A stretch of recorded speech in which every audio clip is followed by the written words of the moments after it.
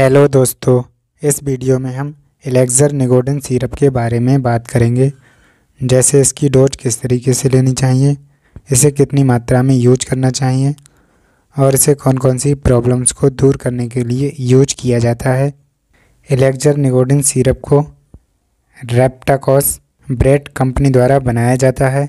एलेक्ज़र निगोडन syrup 300 सौ की packing में दो सौ में आपके नज़दीकी मेडिकल स्टोर पर आपको बहुत ही आसानी से मिल जाएगा।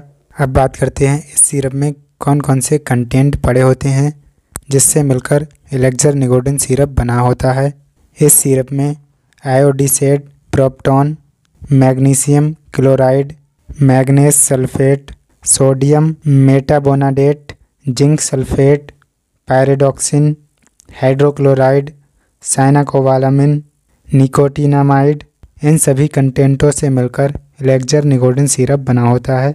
अब बात करते हैं इस सिरप का उपयोग कौन कौन सी प्रॉब्लम्स को दूर करने के लिए किया जाता है। इस सिरप का उपयोग मेन रूप से भूख बढ़ाने के लिए किया जाता है।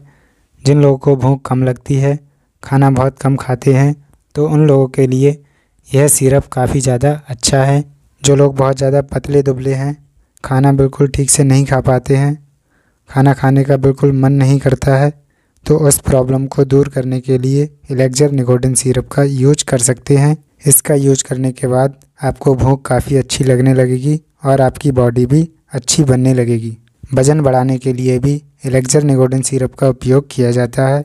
बॉडी में सभी तरह के न्यूट्रिशन को पूरा करने के लिए इलेक्जर निकोडिन सिरप बहुत ज़्यादा फ़ायदेमंद होता है। इस सिरप का यूज़ प्रेगनेंसी के दौरान भी किया जा सकता है। प्रेग्नेंट लेडीज़ों के लिए यह सिरप पूरी तरीके से सेफ़ होता है। आपकी बॉडी में किसी भी तरह के न्यूट्रिशन की कमी है तो उस कमी को पूरा करने के लिए आप एलेक्जर निगोडिन सिरप का यूज़ कर सकते हैं। अब बात करते हैं एलेक्जर निगोडिन सिरप के क्या क्या साइड इफ़ेक्ट होते हैं। अगर इसके साइड इफ़ेक्ट की बात की जाए तो इससे कभी कभी कुछ साइड इफ़ेक्ट देखने के लिए मिल सकते हैं, जैसे कि पेट में मरोड़ होना नोजिया वॉमिटिंग होना कभी कभी दस्त की प्रॉब्लम भी देखने के लिए मिल सकती है। अगर इनमें से कोई भी प्रॉब्लम आपको गंभीर रूप से देखने के लिए मिले तो तुरंत आप इस सिरप का यूज़ करना बंद कर दें और अपने डॉक्टर से संपर्क करें। अब बात करते हैं एलेक्जर निगोडिन सिरप का यूज़ कितनी मात्रा में करना चाहिए, इसकी डोज किस तरीके से लेनी चाहिए। एलेक्जर निगोडिन सिरप की डोज एक अडल्ट व्यक्ति को डॉक्टरों द्वारा 10 से 15 एम सुबह शाम खाने के तुरंत बाद पीने की सलाह दी जाती है। और वहीं बच्चों के लिए अगर बच्चा पाँच से आठ साल का है तो पाँच पाँच एम सुबह शाम खाना खाने के तुरंत बाद यूज़ कर सकता है।